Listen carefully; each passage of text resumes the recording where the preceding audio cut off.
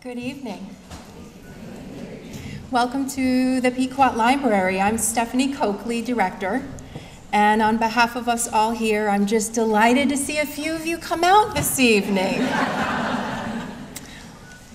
Thank you so much. I'm delighted to welcome this evening our very special Meet the Author presenter. But before I introduce our honored, honored guest, I'd like to extend a sincere thank you to Kate Cacciatore with Sotheby's Realty for supporting tonight's snacks and drinks, and Tom Lowler with M Communications for the audiovisual support that you see tonight. I'd also like to take this opportunity to recognize the hard work of our dedicated volunteer Meet the Author committee members who helped organize tonight's great program, as well as the Owens family for first introducing us to Amor. Amor's first novel, Rules of Civility, was a New York Times bestseller and named by the Wall Street Journal as one of the best books of 2011. Tonight, we'll enjoy a special glimpse into his second novel, A Gentleman in Moscow, which was on the New York Times bestseller list for over 40 weeks in hardcover and was named one of the best books in 2016 by the Chicago Tribune, the Washington Post, the Philadelphia Inquirer, the San Francisco Chronicle, and NPR. Both novels have been translated into over 15 languages, having worked as an investment professional for over 20 years. Amor now devotes himself full time to writing in Manhattan with his wife Maggie and their two children. He graduated from Yale College and received an MA in English from Stanford University. Now, as a slight aside, Last week, this time, I had the opportunity to attend a program organized by the Quick Center at Fairfield University, and perhaps some of you were there, with former Ambassador Susan Rice. I hear a yes. Now, our library friend that evening, Dr. Philip Eliasoff, added to his introduction of Dr. Rice three fun facts. Do you remember that? One of those fun facts about Dr. Rice, of course, was that her blue eyeliner, very signature for her, was Estee Lauder. So inspired by our friend Dr. Eliasoff, I thought I would do that tonight with Amor. So three fun facts about tonight's presenter. One, when he was a boy, he tossed a message in a bottle into the Atlantic Ocean. It was later found by Harrison Salisbury, a managing editor of the New York Times. they started a correspondence. Number two fun fact when he was 12 years old, he worked for a newspaper on the vineyard and he wrote about a fictitious male character that he imagined a socialite male character. Thirdly, Amor, and this is my favorite, is a huge fan of the rock band Led Zeppelin. right on, Amor.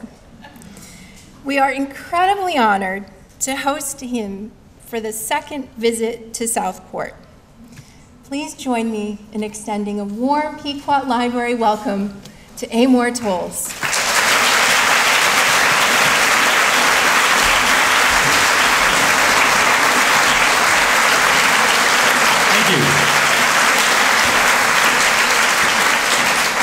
Thank you very much. Thank you. Um, I should let you know there are two seats here in the front. Anybody who wants them um, before we get started. Uh, well, thank you very much uh, for having me back to the Pequot Library. I really appreciate it. It's nice to be here. Um, as I think many of you know, my relatively new novel, The Gentleman in Moscow, has a rather odd premise in that it opens at a Bolshevik tribunal in the Kremlin in 1922, where a 30 year old aristocrat is being interviewed. And in the course of this brief interview, it becomes clear that the Count wrote a poem as a young man that was very popular with the revolutionary generation. So he has some friends in the upper ranks of the party, as it were. But on the other hand, it also becomes clear that he's an unrepentant aristocrat. So, as something of a compromise, the tribunal decides that the Count can go back to the hotel where he's been staying, and if he ever comes out of the hotel again, he will be shot.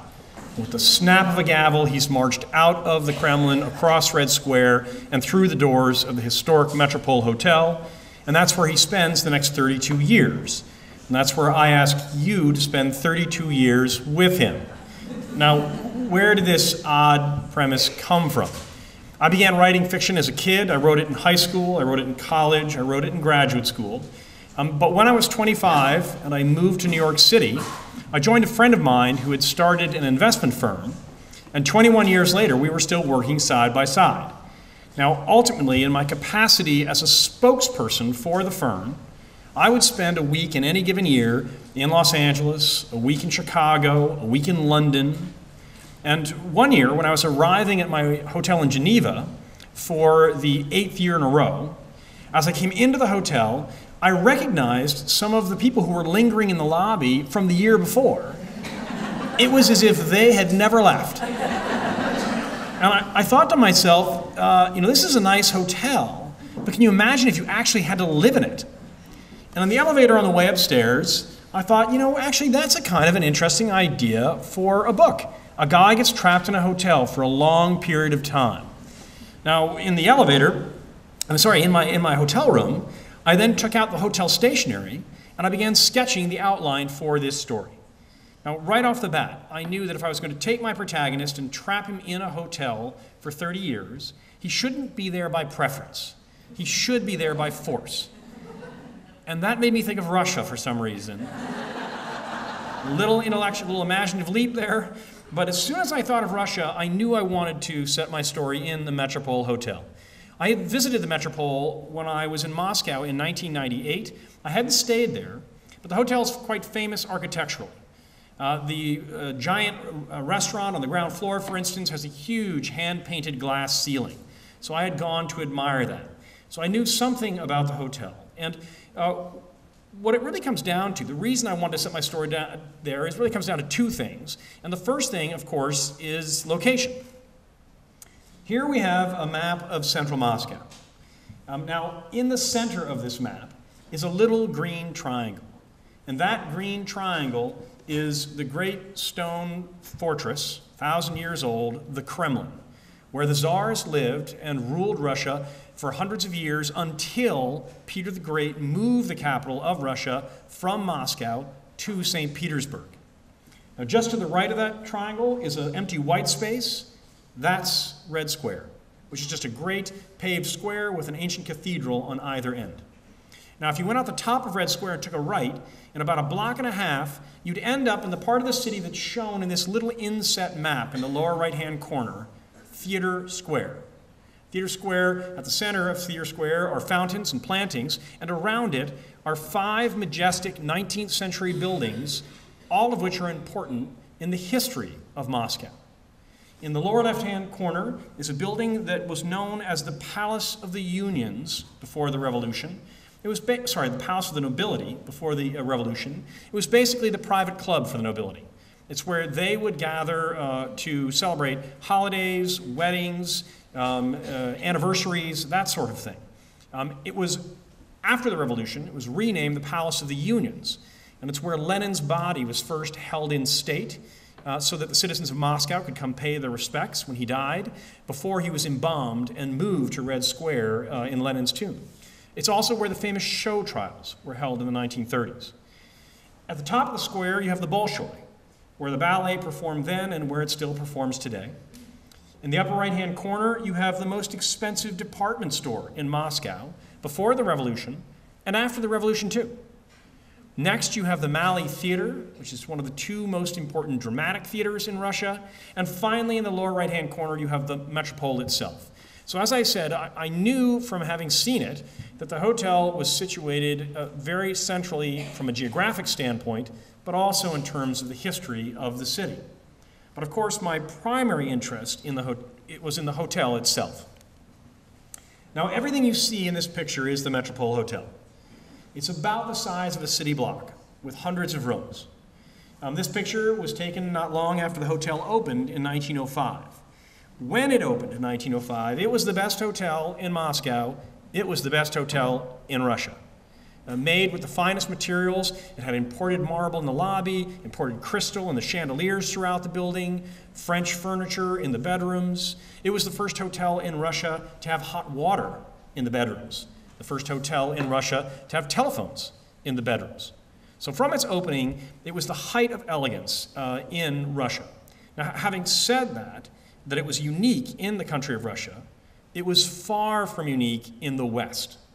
Because the period from, let's say, 1890 to 1910, this was basically the golden age of the Grand Hotel. Uh, this is when the fancy hotels of large scale were being opened in every major city in Europe, as well as every major city in the United States, and along the Mediterranean coast and along the Florida coast. This is when the Waldorf Astoria really gets going in New York. This is when the Palace opens in San Francisco, when the Breakers opens in Palm Beach. And what the grand hotels in the United States and Europe tended to have in common is they were all about the size of a city block. They were all made with the finest materials. But in addition, they would have had a card room, a billiard room, a library, a great palm court where tea would be served in the afternoon, multiple ballrooms. And on the ground floor, there would have been shops around the periphery that you could enter from the lobby or from the street outside. Now, of course, to some degree, the grand hotels were being designed to serve the great new wealth that rose up out of the 19th century, um, the, to serve the Vanderbilts and their ilk, who were on their grand European tours and had very high expectations of where they would stay from one city to the next. But to some degree, the grand hotels were being built to do something that hotels had really not been built to do before, and that was to become an extension of their cities. The best way I can put this for you would be to say that if you went to the Metropole in the decade that it first opened, on a Saturday night, more than half the people that you saw in the lobby would have been Muscovites, not travelers. It would have been local Russians on their way to meet friends in the coffee house, or to dine in the fine restaurant, which is the best in the city, or to dance to one of the multiple orchestras that was playing throughout the building. So, from its opening, the Metropole was very much at the center of the social fabric of uh, Moscow, visited on a weekly basis by the nobility, by the intelligentsia, and by the upper bourgeoisie. Now, having said that the Metropole was very much like the other grand hotels in Europe, a distinguishing characteristic of the Metropole is that 12 years after it opened, it found itself in the middle of a proletarian revolution. And uh, it was very much in the middle of things. Um, as revolutionary activity was heating up in Russia in 1917, uh, a lot of it was centered in St. Petersburg because that's where the Tsar was, holed up in the Winter Palace, the Hermitage. But a great deal of revolutionary activity was occurring in Moscow as well at the same time.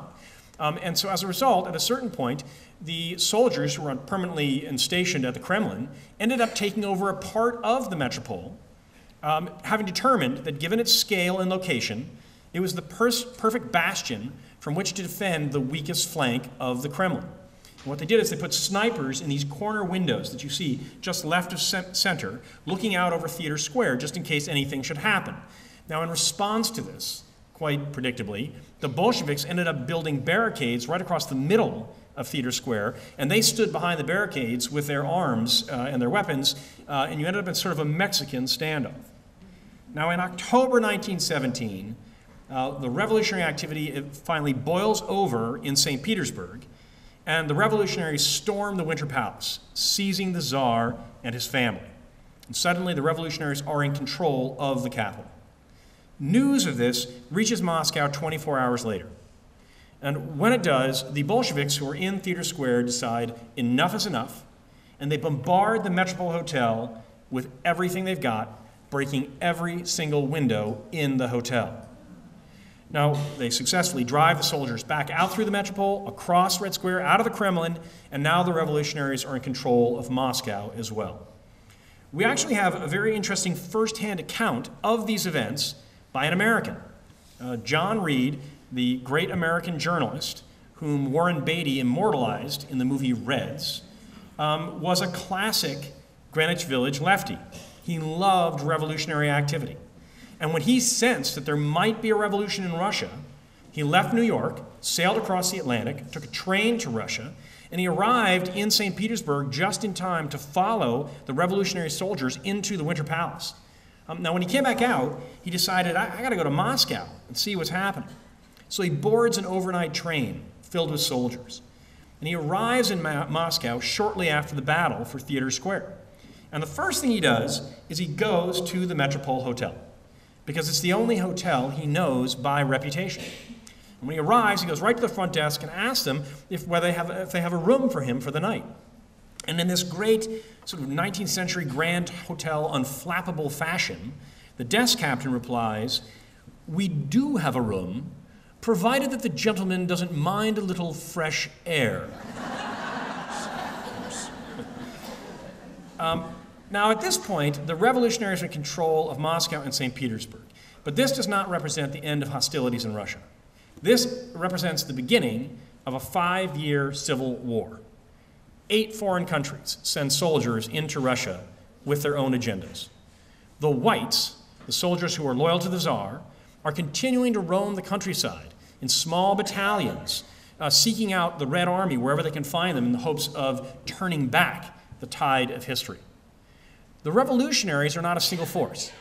They are multiple factions who've been kind of working in, in, concert together, but also kind of trying to elbow each other for control of the situation.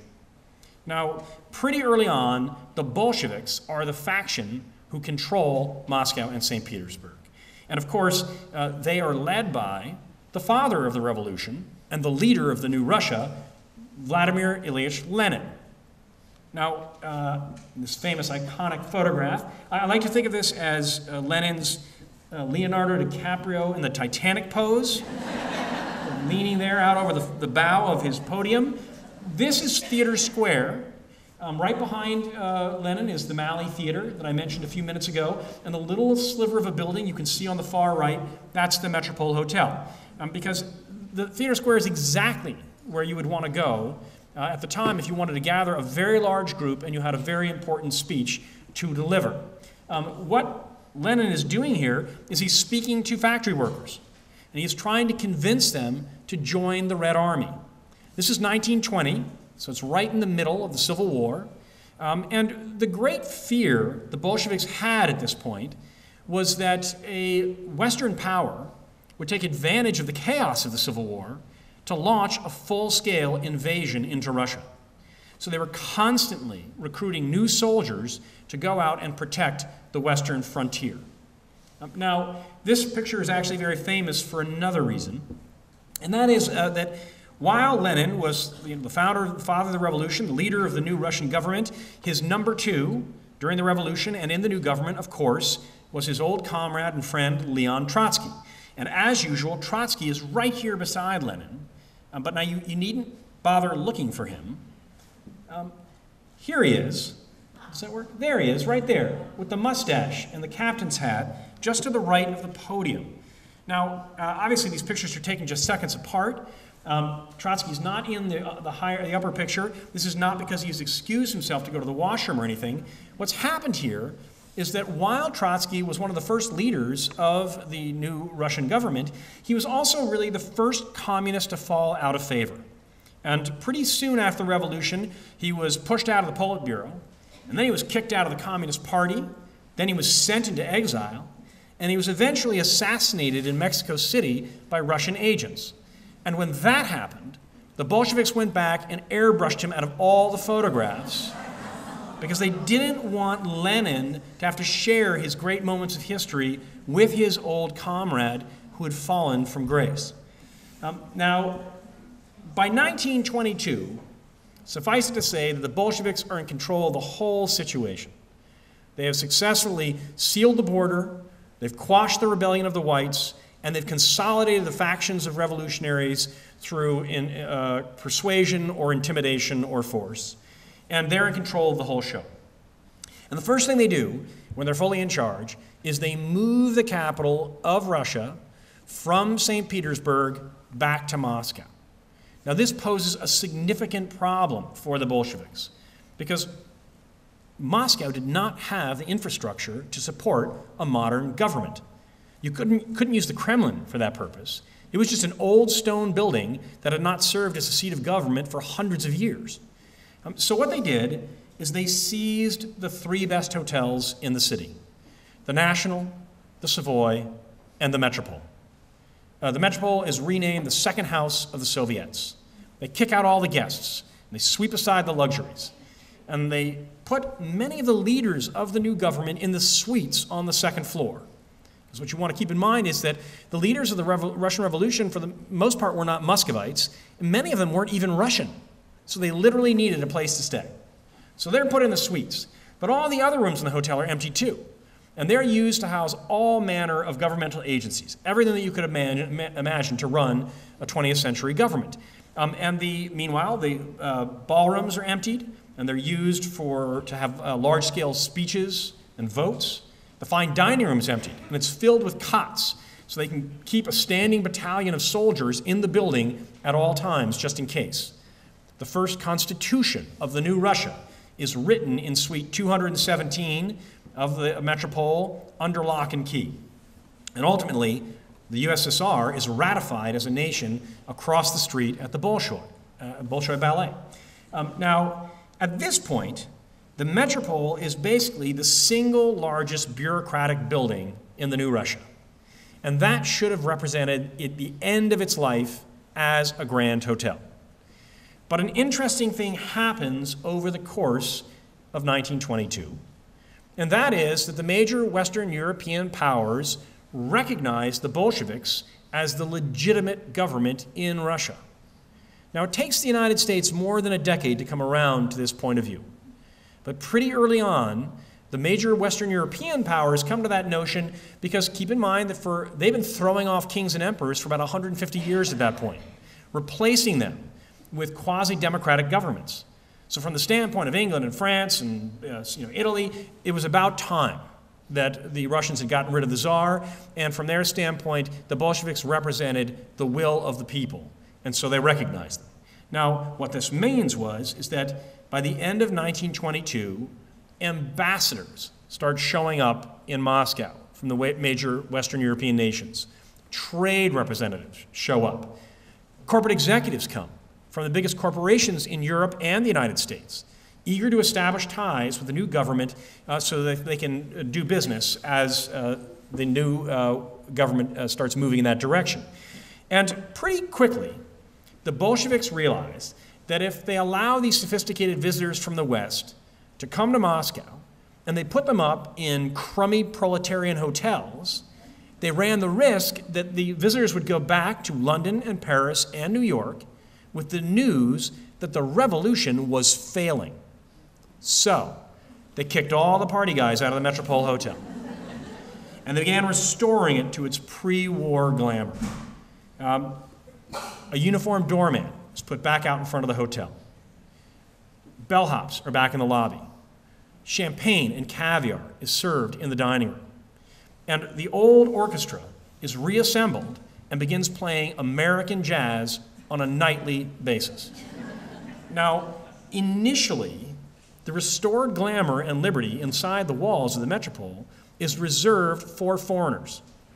An ordinance is passed in the city of Moscow which forbids any Russian citizen from going into a foreign designated restaurant or hotel, of which uh, the metropole is basically example number one. So initially, it's just foreigners. But the citizens of Moscow end up reclaiming the metropole over the course of time, and this occurs in two waves. The first wave is that the leaders of the Russian government, of the Communist Party, start hanging out at the Metropole. They decide food's pretty good, the liquor's pretty good, the music's nice, So they're hanging out there on a nightly basis, dining with their proteges, uh, with their comrades, with their mistresses um, on a regular basis. Now, I think that if you asked most Americans what percentage of the Russian population in the 1930s and 40s and leading up to the Cold War in the 50s, what percentage of the Russian population were communists, most Americans would say 95%, you know, three quarters, certainly more than half. In reality, only 10% of the Russian population were members of the Communist Party. Now, this is not because the other 90% did not want to be members of the Communist Party. This is because the other 90% were not allowed to be members of the Communist Party. At the time of the First World War, before the Revolution, uh, membership in the Communist Party was basically a badge of ideological honor. If you were a member in the party, it's because you could quote your Marx and Engels, you had uh, organized trade unions, or tried to, you had printed pamphlets in basements, and you'd probably done some time. And this is what has earned you your place in the party. But in the aftermath of the revolution, pretty quickly, membership in the Communist Party became a gateway to privilege. Um, in those years, if you remember the Communist Party, you had access to special apartment buildings with larger apartments that you would not have to share with other families. If you remember the party, uh, you had access to special grocery stores where not only was there bread and milk on a daily basis, there were delicacies. Um, if you remember the party, your children were given better opportunities. You tended to be treated better by the judicial system. So, without a doubt, if you're a member of the Communist Party, uh, it was a huge advantage to you and your family through most of the Soviet era. And so, membership was doled out very selectively to those individuals who had paid their dues and proven their loyalty to the powers that be. So, suffice to say that this group is hanging out in the metropole despite the prohibition because basically they can do whatever they want. Now, the second wave is a much bigger wave. And what brings this about is a financial crisis. So, what I want you to remember is that at the time of the First World War, Russia was the most backward of all the Western European great nations. Um, at the time, 95% of the population was illiterate. 85% of the Russian population at that point were peasants who uh, would plow with wooden plows and oxen on other people's land, much in the fashion that their great grandparents had done as serfs, which was basically the Russian form of indentured slavery. Uh, there was very little industry. So Russia was way behind England, America, Italy, Austria. And when the Bolsheviks gained control, one of the first things they wanted to do was to vault over a half a century of failed investment and rapidly modernize the country to bring it into industrial parity with the other great nations of the West. And this is what the five year plans were all about.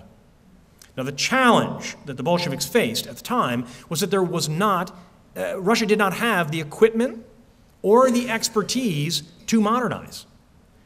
Luckily, the great Western nations, including the United States, were perfectly happy to sell their equipment and expertise to the communists. It's just that they didn't want to do so uh, in exchange for the new Russian currency. They didn't want to do so in exchange for an IOU. What they wanted was hard currency for these goods. And what that meant was the Swiss franc, the British pound, the US dollar, or gold. Now, initially, the Bolsheviks had a significant warehouse of hard currency, which they had seized from the nobility, uh, but they began to run out over the course of the five year plans, threatening the modernization of the country. Now, at that point, the good news was that there was still a significant amount of hard currency in Russia. It's just that it was under the mattresses of the civilians. The population in Russia had figured out pretty early on uh, they didn't trust the new Russian currency, which was experiencing incredible inflation. And they had figured out that they could use foreign currency on the black market to buy essentials for their family. So they were hoarding it strategically. So the Bolsheviks came up with this ingenious compromise. They said, okay, we're going to reopen the foreign designated hotels and restaurants to the citizens of Moscow. provided that when you dine at the Metropole, you pay your bill in foreign currency. Through this compromise, the Bolsheviks rake in the foreign currency they need to complete the modernization of Russia, and the citizens of Moscow once again reclaim the glamour and the liberty within inside the walls of the hotel. Now, just in case you think I'm making this up, because I am not above that, by the way, what I'd like to do is I'd like to read a brief passage from the memoir of Eugene Lyons. Now, Eugene Lyons was the United Press International's Moscow correspondent in the late 20s and the early 30s. Um, and he spent a lot of time at the Metropole because the bar at the Metropole was the watering hole for all the American and British journalists from the time of the Revolution right up into the Cold War. So they all talk about it in their memoirs at pretty much a great length.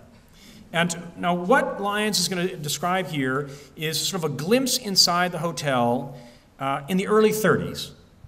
And I want you to keep in your mind that this is a few years after the Ukrainian famine, a time when millions died in Russia, a time of great shortages. Um, and it's just a few years before the great purges start to ramp up. So, in the middle of what is a very challenging decade for the uh, Russian citizenry, this is what's happening inside the hotel. The Metropole was the new social center for the bourgeois colony. Its main restaurant was a Russian peasant's dream of capitalist splendors immense candelabra, oversized lights, heavy furniture, a jazz band of symphony orchestra proportions. The chief pride of the restaurant its ultra bourgeois touch was a great circular pool where lights and rather proletarian looking fishes played. On grand occasions, the chef in cap and apron emerged from his sanctum with a net over his shoulder and captured a fish to cook for special customers bearing foreign currencies. The dancing couples rotated around the pool, and sometimes an unsteady customer joined the fishes to the great delight of the assembled crowd. Actually, here we go. So there, there's the dining room that Lyons is describing. Um, given my angle in this picture, you're looking at about 60% of the room. Um, and there's the giant hand painted glass ceiling that I mentioned earlier. Uh, above that are two more glass ceilings that are fully translucent so that natural light can go from the roof of the hotel all the way down to the ground floor where uh, the restaurant uh, is located. Um, these are the giant lights that Lyons describes. There's the fountain where the chef would catch fish for special customers. In the back, you can see the bandstand. Now, the only thing different uh, of a period photograph is that there would have been about two, three, four times as many tables, with everybody crowded in there, elbow to elbow, having a grand old time. Now, what I particularly love about the Lyons' passage is that it could easily have come from a memoir of someone in F. Scott Fitzgerald's circle talking about what was going on at the Plaza Hotel in the 20s. It is crazy that this is what was going on inside the Metropole Hotel, across the street from the Kremlin, around the corner from the headquarters of the secret police, at the height of the Stalinist era. And this, of course, is, is why I chose to set my story in the hotel, for this paradox. Um, now, for those who haven't read the book, most of what I've just said isn't in the book. It's not in the book. the book is not a work of history, it's not a Wikipedia entry, it's a novel.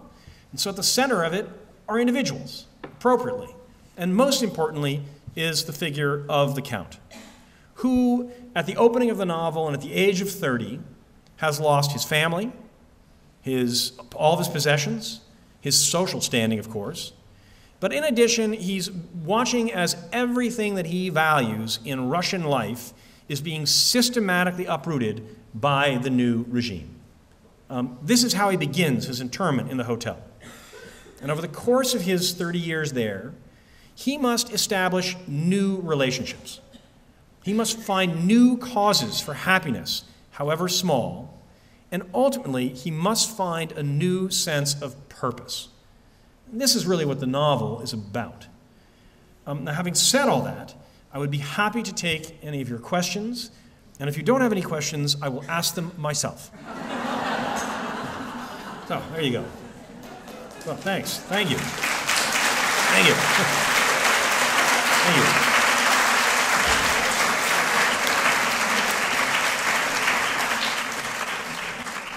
We have a microphone if anybody would like it.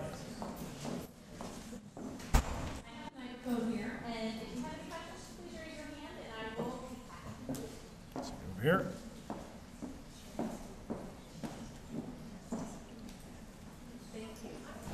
First of all?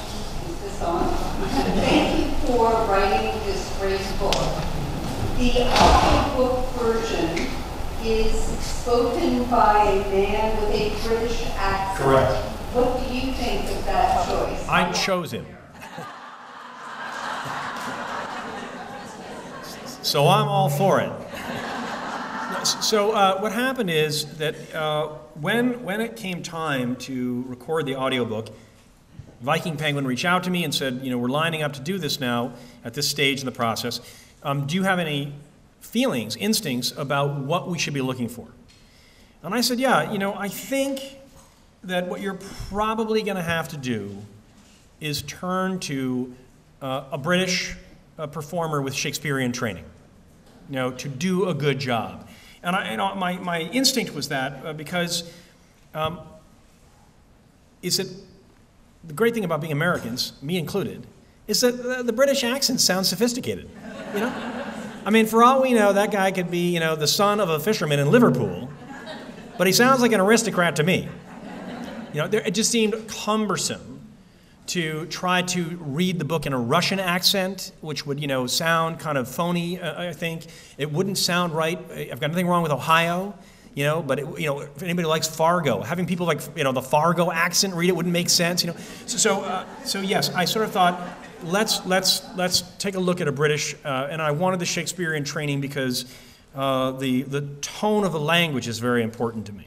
And that's a very important part of the, of the uh, Shakespearean training in, in, England, is the articulation of sentences. And so, um, so they came back and they found three, gave me audio files of all three, and then you know, we narrowed in on Nicholas Guy Smith, who I think does a great job. Yes? I like, like the audiobook too. Where's that coming from? Oh, thank you. and, and thank you so much. I I really enjoyed the book.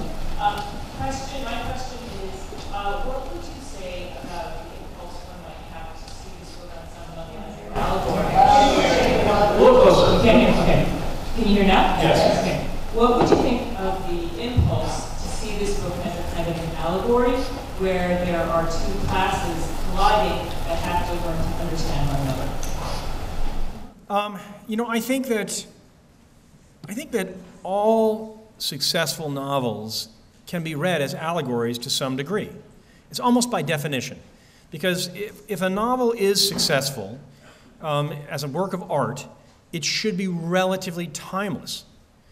And uh, what that means, by definition, is that we can take the, the narrative events, the individuals in it, uh, the themes of it, the poetry of it, and transport it, you know, half a century forward, a half a century forward, and the readers at that time can take in those elements and draw meaningful conclusions about their own lives. So, so you know, in that sense, it almost is required. You know, uh, so Moby Dick, it is a great ocean yarn. But of course, it also can be taken as an allegory for many things, which is one of the reasons it survives. The Sound of the Fury by Faulkner, the same. Mrs. Dalloway by Woolf, Virginia Woolf, the same. You know, so I, I don't. I certainly wouldn't take an issue with the notion of of looking at allegorical aspects to the story. I would hope that, and, and, and frankly, you know, the the the fact that the book has been as successful as it has in the United States in this day and age, I think, is evidence that, that people can take this sort of strange situation in another time and place and find some uh, kind of meaning for themselves in it in today's America. And, and so, yeah, I think I, I, I welcome that reading. But I wouldn't get too specific about it. Right? I wouldn't say it's an allegory of this any more than I could give you in a sentence what Moby Dick is an allegory of. Thank you. We, we have, oh, up- or they go ahead, somebody in the back, and then we have some people up here in the front later, but go ahead, please. How and where did you go about your research? How and where did I go about my research? Um, you know, the, the fact is, I, I don't, I don't do really apply. The way I work is I don't pick a topic, research it, and then write it. What I do is I write about things I'm already fascinated in. So for those of you who've read Rules of Civility, it takes, you know, it's about the young woman of working class background in New York in 1938. Um, I have been a fan of the 20s and 30s since my youth. I'd seen the movies, I'd read the novels, I'd listened to the music, I'd studied the art movements. And so by the time I sat down to write that book, I had 30 years of familiarity with the era. And that's what I relied upon. That was the foundation I relied upon to invent my version of 1938 New York. And when I was done with the first draft, I began going back and doing some applied research to sharpen some details, um, to check some facts, that sort of thing. Um, it's the same thing with the Russian story. A gentleman in Moscow, I, my interest in Russian literature dates back to my late teens and early 20s, and then I got interested in the Russian avant garde before the war, and then I got interested in the Soviet era. Um, and so when I sat down to write this book again, I had close to, to 30 years of cumulative familiarity with Russian culture, and that's what I used as the foundation to invent the story. And when I was done, I went back and did some applied work to sharpen some details and elements. And um, all, which all of this begs the question of why. You know, why would I do it that way? Why would I put off this, this, these elements of research to the end? And I, I think that to understand this fully, because I think it's, I'm going to elaborate on this for a second, because I think it's, it's important, is, um, you know, an interesting irony of our times is that we as a generation have gotten to the point where we expect, or even really demand, more factual accuracy from our novelists than from our presidential candidates.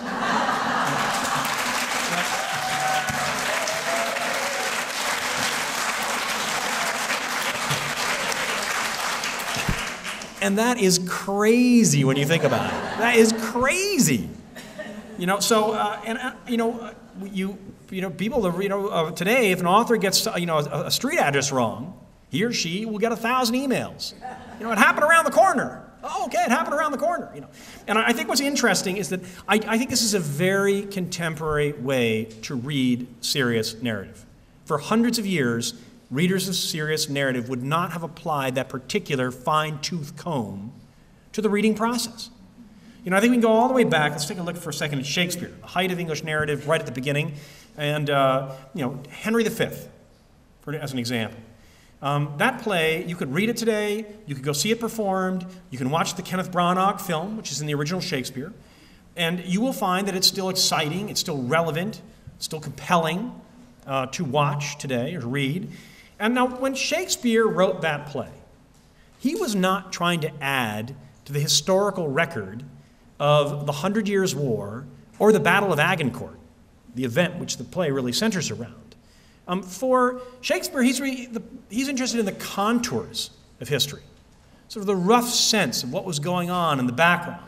Because what really intrigues him is not the temperature on the battlefield or the number of dead in a given day or you know, who ran what battalion. He's interested in things like how does a 20 year old man who is a drunkard, a gambler, a womanizer, at the age of 30 or whatever, become a king of great integrity and honor? How did that happen with Henry? Um, and once he's king, how does he convince his fellow countrymen to leave their homes, uh, knowing that half of them will never return, to go and fight for their country?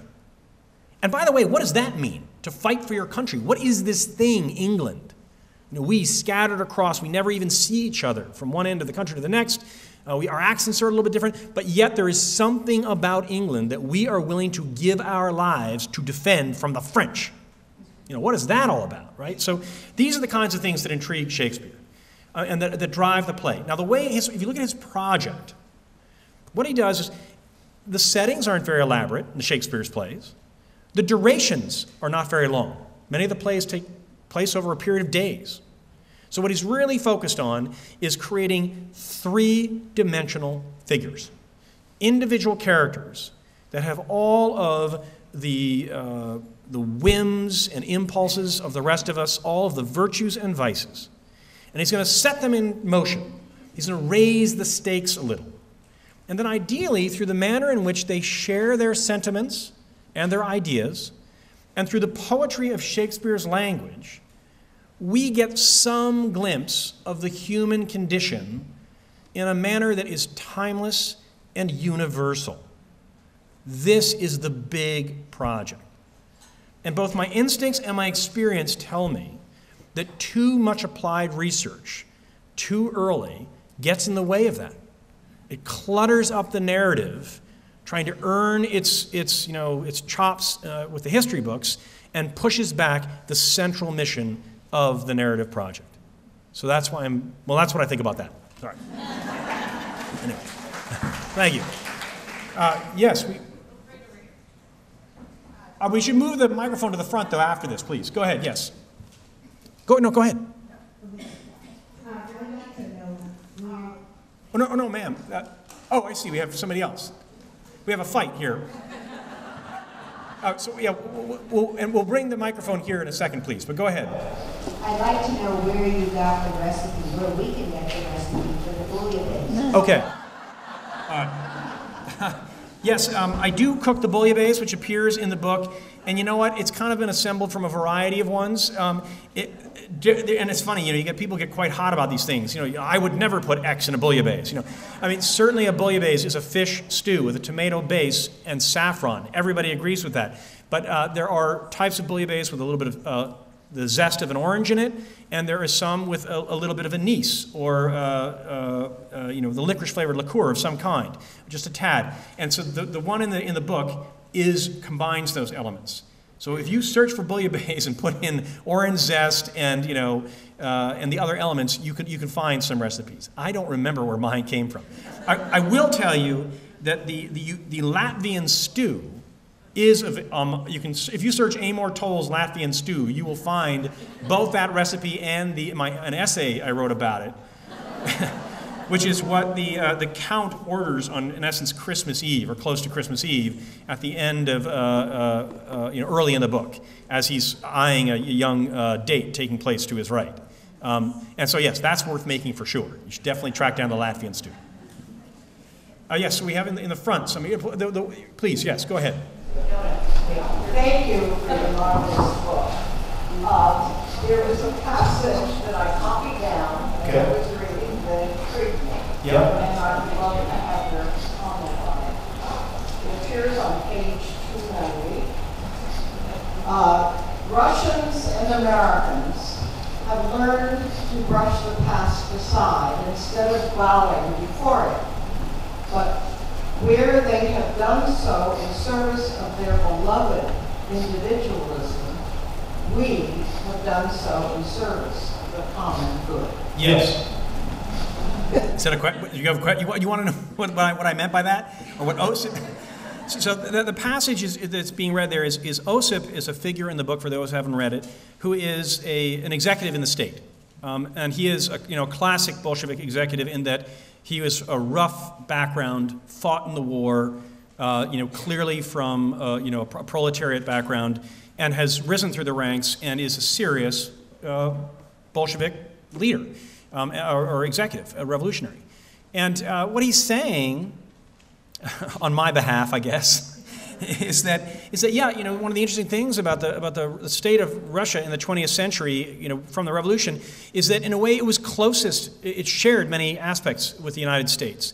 In that, if you looked at you know France or Austria or Italy or Spain, they held on to many trappings of their old heritage, uh, you know, well into the 20th century. Um, uh, the pomp, the circumstance, the respect for certain things, uh, you know, whether it was the art or the old holdings or you know, as colonies, etc. And, and Russia really, with the revolution, cast off everything from that, you know, from the royal era, from its grand 19th and 18th century history, where it was one of the great powers in Europe and had one of the most sophisticated cultures, just threw it all aside to build a whole new nation, right? And, uh, you know, I mentioned earlier and, and obviously, there was a lot of very bad consequences from the way they went about it. And, but they also achieved many of the things they sought out to achieve on the other side of that. Um, so, by way of example, on, the, on that side of the ledger, uh, we know many of the, the worst aspects of it uh, as Americans. Uh, but on the other side, uh, because we were all raised, educated in what went wrong in Russia, and, and for many of us. But um, I mentioned earlier that 95% of the population was illiterate at the time of the First World War. That's true. Um, by 1930, well, they outlawed illiter- illiteracy. They outlawed it and funded a massive literacy drive requiring that Russians of any age, including in your 80s, needed to learn how to read. And they populated it with students, sent them out all across the country. By 1930, even earlier than that, 95% of the country could read. Uh, now, you know, I mentioned that at the time of the First World War, that Russia was the most backward of all the Western European nations. Again, that's true. There was no industry there. Um, what's you want to keep in mind is that as by the end of the Second World War, Russia was the most powerful industrial nation in the world, other than one, us. They had surpassed everybody in Europe and Asia by a wide margin, putting guys on the moon, just like us, right? So there was this incredible uh, marching forward uh, of industrial progress of a variety of things. And, and so, yes, what my, my, the point of Osip's passage is, is listen, you know, we're, we're, that's what we're about. We're going to cast off all this stuff of the 19th century, which basically entrapped uh, our people, kept us behind, and we're going to vault into the future towards a common good. And, and it, that was the goal. They didn't achieve it. But the, common, the goal of the, the original Russian um, constitution uh, guaranteed equal rights for women on the very first day. Um, it, it you know, took religion off the table, making you know, that is, you, know, there was no priority of religion. So, so it was streaking, uh, seeking a common society. So, from their standpoint, yes, they were doing this modernization for a common good where they see it in the United States being tied to uh, a pursuit of uh, you know, pr- uh, the, the love of the individual which I think is, is an accurate one. We are, we are a caring society. In many ways, America statistically is, one, is the most charitable nation on earth. Um, but, but we have gotten where we are through this pride in, um, in individuals, in which I back you know, fully um, as a person. But yes, those are different approaches. Oh, Mike, go ahead, there, please. Yes, I venture to say that most people here have read your first book and your second book. Do you have an idea for your next book? Sure. I mean, any book that I write is, is generally the product of an idea that I've been sitting on for a very long time. And, and what I will do is, I'm an outliner. So uh, I will design the book I'm writing over a period of years. By the time I sit down to write chapter one, I usually have a 50 page outline with every chapter, every event, every character and their background, every setting, all the thematic arcs and, and psychological arcs and sentimental arcs outlined uh, in place. Um, so, yes, I am, I am nearing the completion of the design phase for my next novel. I hope to start it, writing it in January, and it is about three 18 year old boys on their way from Kansas to New York City in 1952. And that's all I will tell you about that.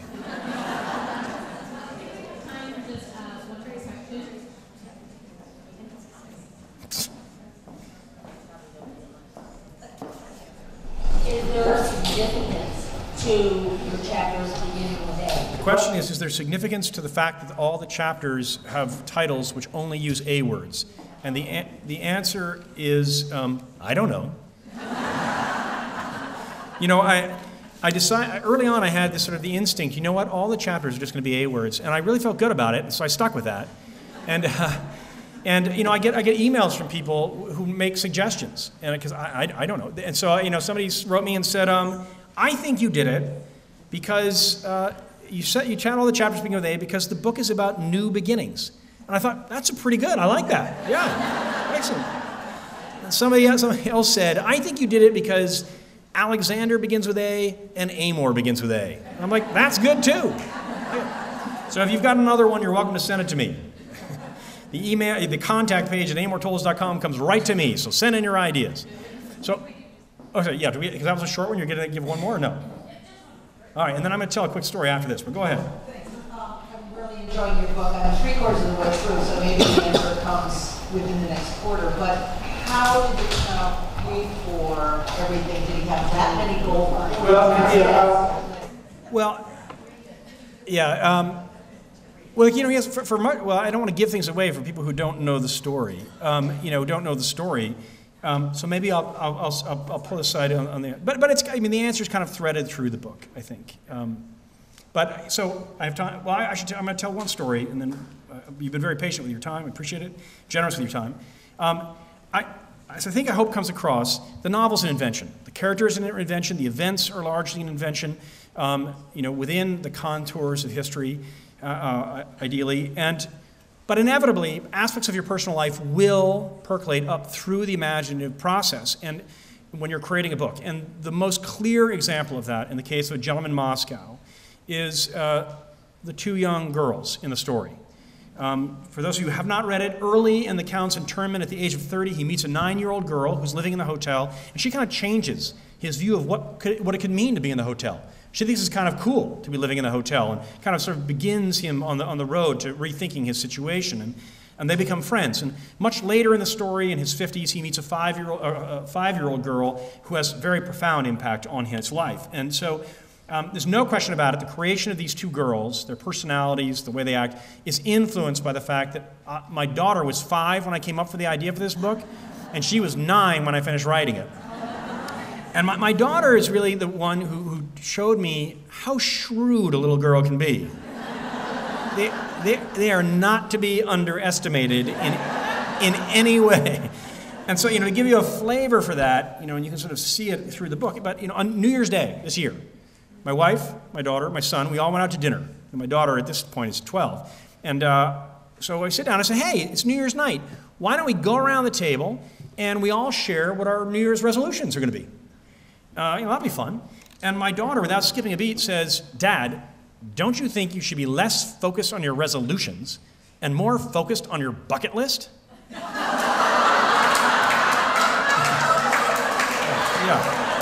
It's, it's a terrible thing to say. Yeah, exactly. So I, so I hit her with my cane because it's the only appropriate response to that comment. So, but, so when my daughter was five and my son was eight, uh, um, their favorite restaurant in New York City was this little, is this little Italian place nearby where we live called Paul and Jimmy's, which is a third generation Italian restaurant, very old school, with chicken parm and spaghetti and meatballs and saltimbocca, veal saltimbocca, and you know classics. So my kids loved the food, but what they really loved about it was how they were treated by the staff. So when we would go to dinner there, uh, the, our children would run ahead of us on the street, and they'd burst into the restaurant, and the staff would say, "Oh, Senor Towles, oh, la principessa, come in, come in." And when we got to the restaurant, the kids would be seated at our table looking like they owned the place.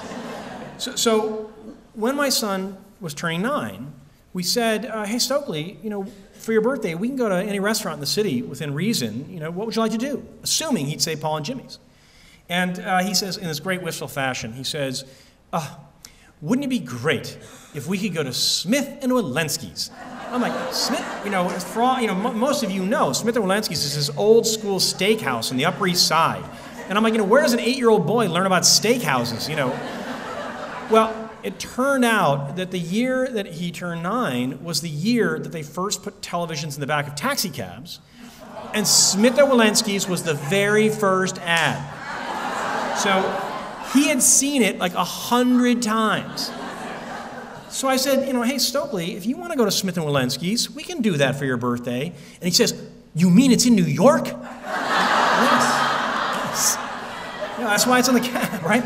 So, so on his birthday, we all get dressed up and we go uptown, Smith and Wollensky's. And, you know, if, you, if any of you have ever been there, you know that the waiters at Smith and Wollensky's are these big old guys who look like butchers. And, in fact, they wear butcher's aprons. That's what the waiters wear. So we get seated in our banquet, and uh, the waiter comes over, you know, big six foot tall guy in a butcher's apron, and he says, um, All right, welcome to Smith and Wollensky's. Let's get down to business.